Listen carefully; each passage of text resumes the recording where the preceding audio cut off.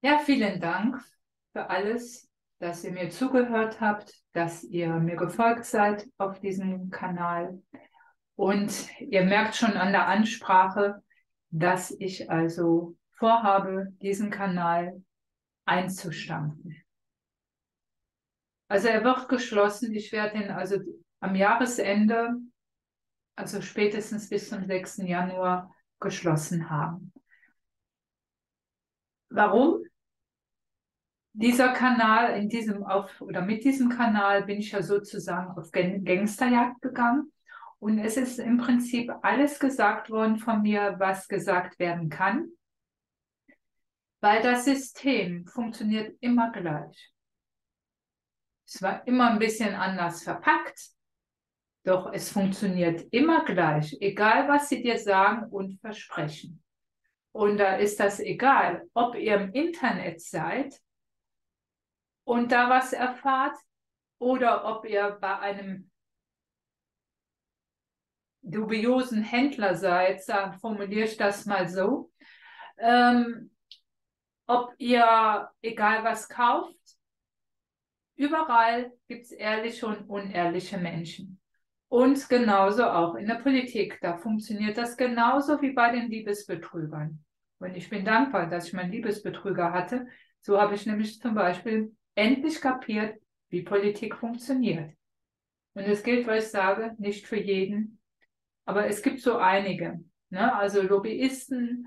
Und wenn Lobbyisten dann schon Einfluss nehmen auf Minister und auf andere Abgeordnete, die unsere Interessen vertreten sollten und nicht die Interessen äh, von irgendwelchen Firmen, dann kann man überlegen, was denn in Wirklichkeit abgeht. Ich weiß also so ein bisschen immerhin, wovon ich rede. So, jetzt habe ich also erst noch mal ein bisschen Feuer ins Wasser geworfen. Ich möchte jedoch die ganzen Energien, das sind negative Energien, die ich jetzt gerade verbreitet habe, ähm, die möchte ich rausziehen. Und wir sollten uns alle sozusagen aus dieser Gedankenwelt, aus dieser Themenwelt, egal was jetzt von irgendwo kommt, rausziehen. Mit unserem Körper, mit unserem Geist, vor allen Dingen Geist und Seele und unserem Körper. Weil ich merke wirklich, ich besitze keinen Fernseher, schon seit Jahren nicht. Ähm, Jahren kann ich jetzt im Moment nicht sagen, also Jahrzehnte, Jahre kann ich sagen, Jahrzehnte noch nicht. Jedoch immer ähm, ja, in meiner Studentenzeit, ich habe eigentlich persönlich nie einen Fernseher gehabt. Ich hatte immer nur einen Fernseher, wenn ich nicht alleine gelebt habe. Und die habe ich dann, sobald der Mensch weg war, habe ich regelmäßig meine Fernsehapparate verschenkt. Als Beispiel mal. Ne? So, also schaut euch nicht die Medien an, hört euch nicht die Nachrichten an. Ihr regt euch auf. Ich lese ab und zu, gehe ich mal so Chats durch, was ich auch nur noch ganz selten gemacht habe. Ich habe das die letzten zwei Jahre sehr viel gemacht, bis ich gesagt habe, ich werde krank davon, weil da gibt es nur Angstmacherei, Zankerei, Mord und Totschlag und nichts anderes. Und Blenderei. Blenderei, Augenwischerei. Folgt keinen von diesen Leuten. Folgt keinem. Hört in euer Herz hinein und da wisst ihr genau, was wahr ist. Und wenn ihr ein schlechtes Gefühl habt, dann hört auf das Gefühl. Glaubt keinem Arzt, glaubt keinem Mediziner, keinem Apotheker und mir natürlich auch nicht. Es sind Theorien. Auch was ich euch jetzt erzähle, könnt ihr vielleicht sagen, Ute, na, ich weiß nicht, du erzählst da auch wieder Theorien. Mir geht es psychisch besser, seitdem ich kaum noch, ich muss sagen, kaum noch. Die wichtigsten Nachrichten, die kriegt man sowieso mal mit.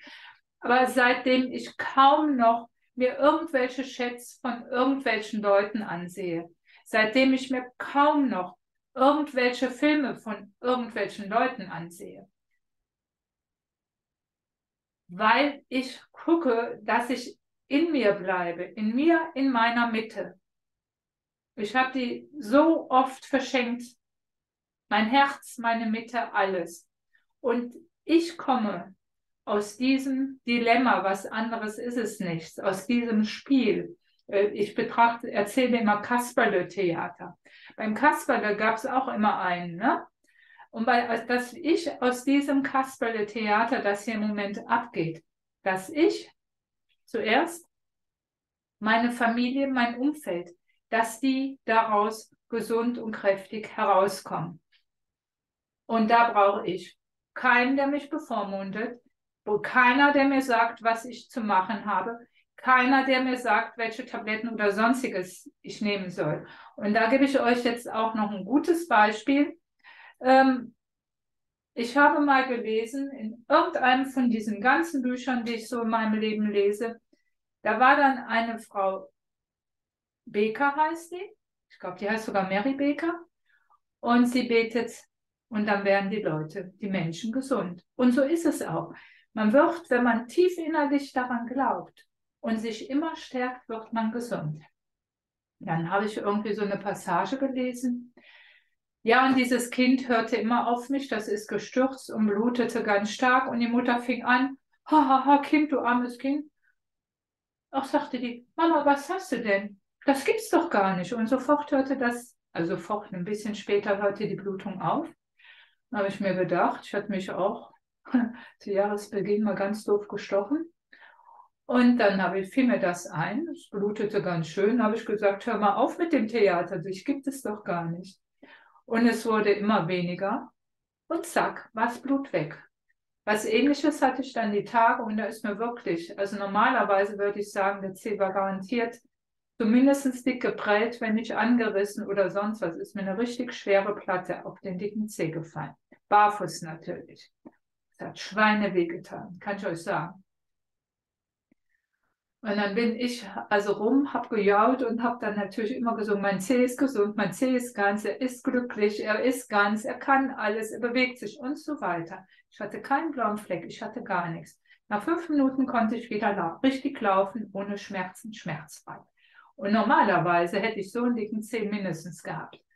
Also, konzentriert euch auf euch, auf eure Gesundheit, auf euren Körper. Du kannst alles hiermit lenken und steuern. Und deswegen ähm, gebe ich auch dieses Thema, weswegen ihr mir ja auch in der Regel zuschaut, äh, mit den Betrügern.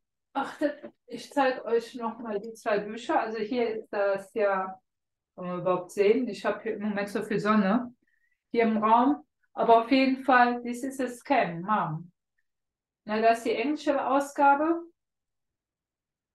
Und hier ist die deutsche Ausgabe, sonst blende ich die nachher nochmal ein. Die deutsche Ausgabe hier, Warnung, Liebesbetrüger, Betrüger, Scammer Alert auf allen sozialen Plattformen wie Facebook, Instagram, LinkedIn und so weiter. Das läuft noch unter Ute Maria Düsterwald. Das Englische läuft schon unter Ute Düsterwald, äh, Ute Maria Menning, Entschuldigung. Und das hier läuft dann schon äh, die englische Ausgabe unter Ute Düsterwald. Und hier erzähle ich euch, wie sie vorgehen, die Betrüger. Das ist kein Liebesroman, da sind, Autom sind Chats drin, wie sie schreiben, wie sie reden, wie sie dich wo reinziehen, dass sie immer eine dritte Person haben und auch, dass du zum Beispiel immer äh, dauernd andere Konten kriegst und wie das Geld dann zu denen kommt, ähm, dass du in der Regel keinen Videoanruf hast, aber das hängt ja auch davon ab, was sie mit dir vorhaben. Ne? Also du kannst auch Videoanrufe kriegen und dann hast aber schon das Problem, hast einen Videoanruf, dann gibt es ja auch schon eine Aufzeichnung. Und wenn ihr also was empfehlen wollt, dann dürft ihr die, also die zwei Bücher hier, also die englische Variante und die deutsche Variante, die gibt es also auf Amazon und da könnt ihr ja dann lesen oder dürft es lesen. Ich freue mich, damit würdet ihr mich und meine kleine Familie ein wenig unterstützen. Ähm, ja, ich gebe dieses Thema Betrug und alles, was ich jetzt vorher an Negativen erzählt habe, und das löschen wir jetzt auch, ähm, gebe ich ans Feld ab. Ihr, davon gehe ich aus, ihr wollt alle glücklich leben. Ihr wollt alle ohne Betrug leben. Ihr wollt alle äh, Freiräume, ich nenne es mal Freiräume, weil Freiheit in, in diesem Raum gibt es kaum. Du kannst die innere Freiheit haben, aber im Äußeren kannst du dir nur Freiräume schaffen. Ja? Ähm, deswegen gebe ich das ganze Thema Lügen, Betrug, Diebstahl in den Raum rein, da wir ja auch alle miteinander verbunden sind, ja. Ich gebe es in den Raum rein, damit sich dieses Thema für immer auflösen kann. Also bei mir löst es sich auf. Nur wenn ich mich jetzt weiterhin mit diesem Thema beschäftige, ziehe ich ganz viel Negatives weiterhin in mein Leben rein und das möchte ich nicht. Also löst euch bitte auch von diesen ganzen negativen ja, Inhalten, die es so gibt im Moment auf der Welt, also auch sehr verstärkt. Glaubt keinem, und schaut, dass ihr in euch eure Mitte findet, dass ihr klare, saubere Gedanken habt und ähm, ja, dann ändert sich euer Leben. Du bist ja der Baumeister deines Lebens. Und wenn ich das jetzt weiter in meinem Leben lasse, komme ich nicht weiter. Ich will wieder das haben, was ich vor dem Betrug hatte. Vom Gefühl her. Weil ihr kennt in einem Beitrag, wo ich sagte, ich bin wie tot. Und wenn ich mich jetzt weiter damit beschäftige, dann kommt das, wo ich mich langsam wieder rausgearbeitet habe, kommt in irgendeiner anderen Form wieder zurück. Und das ist gestrichen. Trotzdem heißt das ja nicht, dass ihr auf mich verzichten müsst oder so. Wenn ihr wollt. Es gibt auch einen Kanal, der heißt Ute Düsterwald. Der ein oder andere kennt den ja auch wahrscheinlich. Äh, und da gibt es das Thema nicht, wobei ich schon drei, vier Folgen noch aus, also die besten, äh, auf diesen Kanal hochladen werde. Ähm, da gibt es andere Inhalte. Da geht es ums Wasser, da geht es um Ernährung, das ist gerade im Aufbau. Es geht natürlich auch um Märchen und Legenden, weil die auch ganz wichtig sind, weil die uns ganz vieles zu sagen haben. Und ich arbeite auch mit Saint-Germain, lese ich die Reden vor und was mir gut tut. Also da ist alles drauf, auch was mir persönlich gut tut. Sonntags gibt es immer ein Interview und das Highlight oder auch jeder Tag ist ein Highlight, äh, ist, dass ich samstags Gedichte von Friedrich dem Großen, dem alten Fritz, vorlese. Und da kann ich euch sagen, ich kann euch sagen, er hat eine richtig spitze Feder. Was der als junger Mensch schon analysiert hatte und wie spitzfindig er war und alles verstanden hat. Ich habe einen Beitrag einfach nur genannt, harter Tobak. Diese Woche Samstag kommt eins raus, das ist äh, ein Gedicht. Da habe ich das vorgelesen. Und dann hörte ich auf einmal, boah, Mama, der lobt den Künstler aber richtig gut. Also das war mehr als Lob, das war die Krönung, kannst du fast sagen. Mehr kann ein Künstler gar nicht erwarten. Ich gesagt, ja, und er weiß auch ganz genau, wen er lobt und wen er nicht lobt.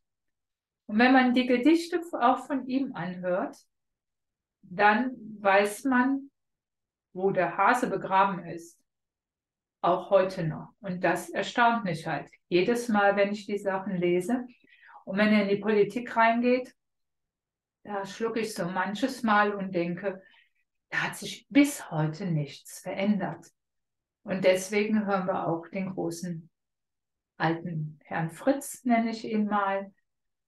Und wir sollten alle zurück in die Geschichte gehen und schauen, was da wirklich war. So, also wie gesagt, wer will, darf meinen anderen Kanal abonnieren und mir weiter folgen. Wer nicht will, das ist ja natürlich jedem frei überlassen, dem wünsche ich alles Gute, viel Glück, Friede kann ich sagen, viel Freiraum und viel Unabhängigkeit. Sei schön in deiner Mitte und lasse dich nicht beirren weil du bestimmst, was in dein Leben kommt. Ich danke dir, deine Ute Düsterwald.